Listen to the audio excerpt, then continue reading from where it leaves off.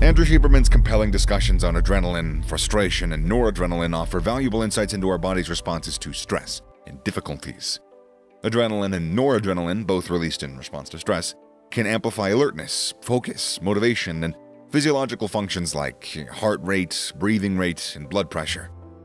You know, we're essentially just this collection of cells, and yet everything is organized in this almost video game virtual reality like version of the world. So the way that neuroscientists think about these th- sorts of things nowadays is in the following way that you're absolutely right, Tom. Everything about life experience is an abstraction.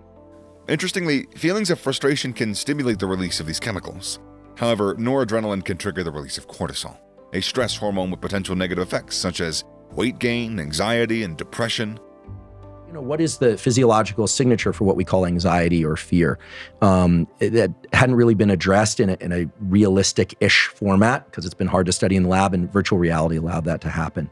Then the pandemic hits, and my lab had teamed up with our associate chair of psychiatry, Dr. David Spiegel, who's a um, wor- the world expert in the clinical applications of hypnosis. I know hypnosis. Case sleep, meaning getting enough quality sleep 80% of the nights of your life. And I always say the other 20%, just try and make the fact that you're not getting enough sleep for fun reasons, out with friends, relationship. Like ideally, it's not because you're lying in bed stressing or etc. But try and get enough quality sleep 80% of the nights of your life. How much sleep do you need? Enough to feel rested during the day. Maybe you need a, a short nap. Napping's great as long as it doesn't screw up your nighttime sleep. How long should a nap be? No longer than 90 minutes. And if you can't nap, don't don't worry about it. Like, it's not a big deal. Like, you don't have to be a napper.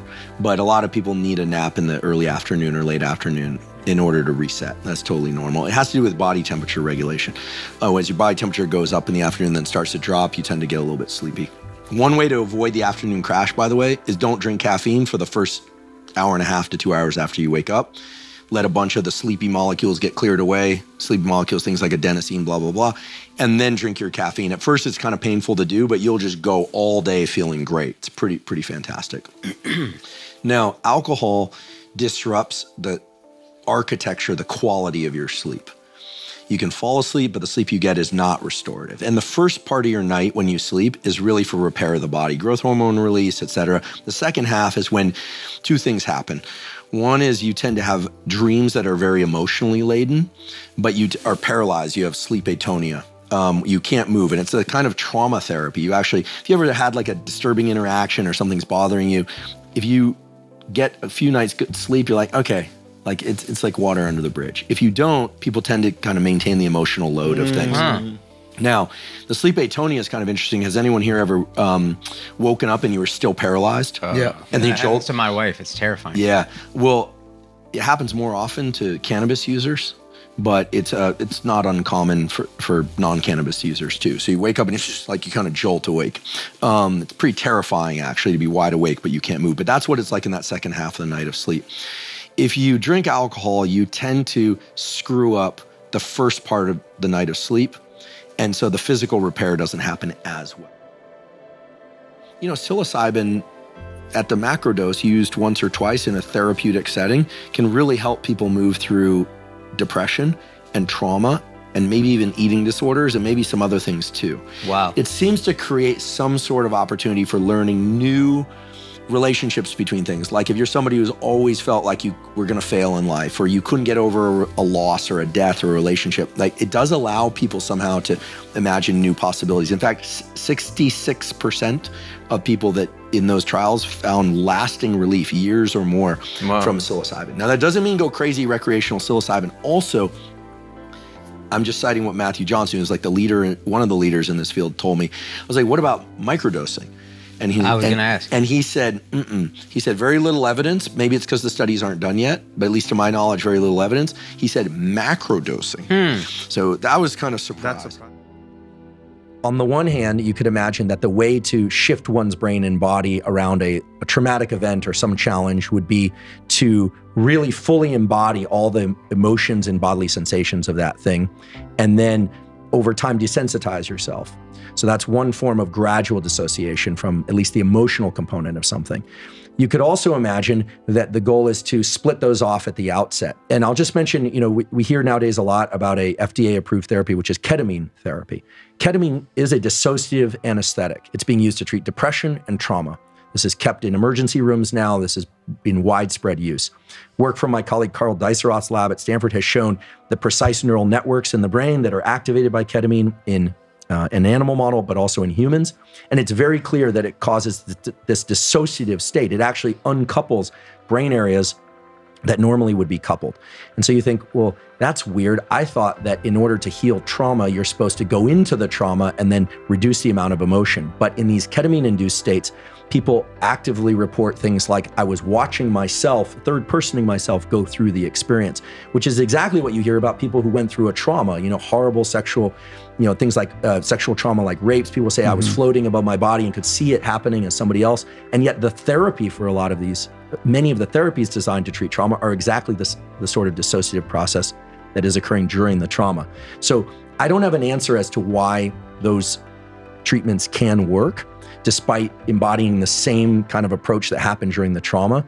What does seem to be the case is that accessing the state of mind that was occurring during the trauma or during anxiety or insomnia or pain, and then third personing that experience and being able to imagine a different bodily or mental response seems to be the, the common theme through all treatments for trauma, fear, anxiety, etc. Is the element of pain. I think that understanding that pain and pleasure are in this really dynamic balance can also help us, which in the following way. Any pain that you feel, the longer day, the less sleep, the, the kind of agony that things aren't working, that power outlet doesn't work, or the internet is slow, whatever it is, the amount of pleasure that you will eventually experience is directly relation, related, excuse me, to how much pain you experience.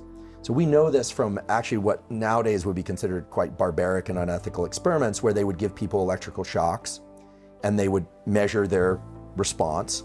And then they'd say, we're going to increase it, we're going to increase it. Eventually, they get to the point where a slight a shock that was previously very painful actually evokes a sense of pleasure. now, you couldn't do these experiments anymore. These are not the experiments I do in my lab. These are older experiments. But for instance, uh, and this has been discussed in scientific research papers, uh, giving somebody a, like a, a 10 minute ice bath, for instance, or even a three minute ice bath, or a one minute ice bath is quite painful. But there was a study from University of Prague, a European Journal of Physiology, showed that after a painful ice bath stimulus, the amount of dopamine release goes up for two and a half hours to 250% above baseline. And that's not because the ice bath itself evokes dopamine release. A lot of people think, oh, cold water evokes dopamine release. No, pain evokes dopamine release after the pain is over. Yesterday, I tweaked my back because I do this stupid thing every few years, the same stupid thing, and it, it's really painful. And then you just remember all the ways in which you can't move around. I was like standing up this morning, I'm like, ah, and just walking is so painful. As the pain has started to dissipate, you get a little bit of a high right? You get a little bit of a euphoria. That's dopamine because of the, the degree of pain that you experienced previously predicts how much pleasure. So when you start a company down in the dregs and you're shoveling again, that's beautiful because that means that the win that you achieve is going to be as good or greater than the one you had previously, in your case with Quest. Yeah, I do think fear can be fuel and it's very powerful fuel. I think that I like the idea actually of using it as a visualization. I think that if you look at the trauma literature, one of the things that we know is that eh, trauma has a has many different aspects to it, but one of the hallmarks of trauma is Uh, two things really. One is a confusion about who's responsible. This is often the case. The brain somehow gets confused about who was responsible for something terrible, even though we know rationally that wasn't my fault. We still, it, it's like almost like the nervous system is trying to resolve something and we get this kind of reverberation of all the terrible feelings. And the other thing that's uh, been shown time and time again is that people really need to not hide from that experience. They need to be able to confront the memory of the experience or the person of the you know, or whatever it was. And of course, that should be done in a clinical setting if it's something very severe. But you know, we we've all probably, or at least in California, we've heard of, you know, there's like love and kindness meditation where people will do a meditation specifically aimed towards cultivating a sense of gratitude, which is a beautiful and wonderful practice. It's actually associated with um, the liberation of a different molecule, serotonin, which is makes us feel good about what we have. Serotonin is sort of the molecule satiety of, of feeling like we have enough in our immediate experience. Dopamine and adrenaline are really about moving forward or away from things. It's about not feeling comfortable where you're at, either because you're craving or because you're afraid, right? So these uh, molecules are interesting because they really do kind of separate themselves into different psychologies, if you will.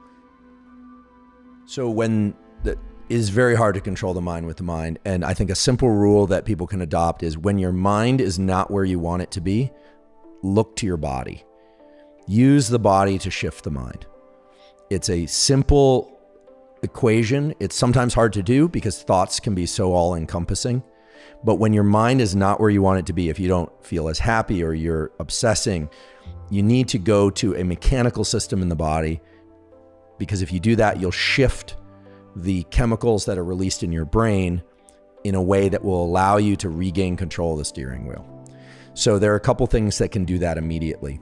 Um, the most basic one and the simplest one is going to be with respiration, with breathing. So, breathing and the neurons that control breathing are so interesting because they are constantly working. They work reflexively all the time. They're working right now. If you're alive and you're listening to this, you, they're working. But unlike a lot of aspects of our brain body connection, we can grab a hold of it immediately and, and start tinkering with it. Like I can't say right now, hey, start digesting faster, Andrew, you know, or tell my intestines, hey, you know, slow down digestion. Or I can't make my heart rate speed up just by telling it to, but I can slow down or speed up my breathing if I want to. Oh, okay, foundational things. Get more get sunlight in your eyes in the morning, especially on cloudy days, as many days of your life as you can. Yep. And make it a pleasurable thing. Yeah. Right? Just get up and get outside, get out on a porch, get outside, you know, take sunglasses, just do it, right? Um, um, most days, if not every day. Try and get your sleep right. Now, younger people with different schedules, like don't give up a social life, but you know, try and get a good amount of sleep. Get good at that. Some people are great sleepers, some people aren't. Very good idea if you want to be healthy, to do three days a week of weight training, we're talking about 10 minutes of warm up and 50 to 60 minutes of working out. If you want, we have a, a schedule like a, that encompasses all this. That's on hubermanlab.com. You get it free. There's nothing to sell here. It's just like a fitness toolkit. That we have a sleep toolkit. All that zero cost. Oh, wow. You just download as a PDF, three pagers. So you don't have to listen to me talk. Yeah. Then I would say three days a week of resistance training and train your legs, guys. Come on. Hmm. You know, like I like come on, um, and yeah, and uh, and three days a week of some cardiovascular work. People might say, well, listen, I'm in my 20s or 30s. Like, I'm not worried about it. It's not about being worried about a heart attack. It's about maintaining blood flow to everything. Where it just seems like the more is better mentality, more interactions being better. And, and it's been shown and he you know gives data to support this that over and over again the ability to just drop into focused work or work in small teams. You know i'm very blessed now. You know my podcast team is a wonderful group of four people more or less. Um, having a small team is really beneficial. If you look in military special operations they're very aware of limiting team size in terms of you know operators that work in groups of you know four to six to eight. You can do incredible outsized things when a small group like that. When things get too big, it just uh, it just wicks out, in, and that's also when problems start arising. That's that's when people start making mistakes.